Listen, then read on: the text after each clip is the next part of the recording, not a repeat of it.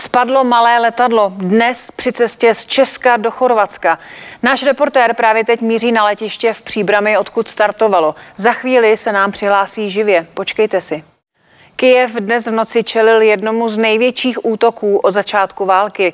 Ukrajinská protivzdušná obrana zaznamenala 75 útočících dronů, z nich se jí podařilo 71 sestřelit. Právě dnes ráno přijela do Kyjeva i česká delegace v čele s předsedy obou komor parlamentu. Si přijeli připomenout výročí tragického hladomoru, který v letech 1932 až 33 zabil přes 3 miliony lidí. Jak už jsem před chvílí zmínila, malé letadlo letící z Česka do Chorvatska se dnes zřítilo nad Rakouskem. V jeho troskách měli zahynout čtyři lidé. Náš report... Další nebezpečná výzva na sociální síti TikTok. Teenageři Brankář hokejového Hradce Králové Patrik Bartošák je v dalším průšvihu. 30-letý rodák z Kopřivnice včera chyběl na soupisce zápasu proti kladenským rytířům a byl vyřazen z kádru pouhý den před východočeským derby. Mají zatím být problémy spojené s pitím alkoholu. To ale klub pro nedostatek informací nepotvrdil.